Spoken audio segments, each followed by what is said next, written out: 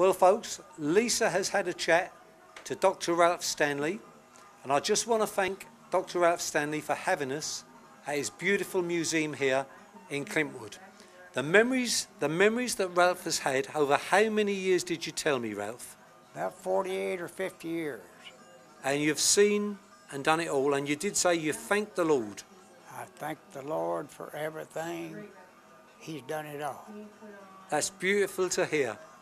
And I was reading around here some of the artists who admire you Alison Krauss, Patty Loveless, Ricky Skaggs, Dwight Yoakam. These are true legends of country, and it's, it's an honour for us to be here, Alf. I'm real proud to have known them and uh, the support they've given me all over the all over the world.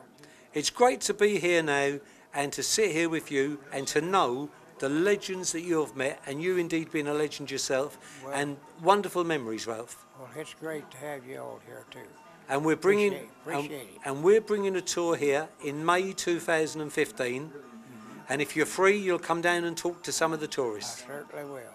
Be glad to. And you've got some great stories to tell. I'll do my best.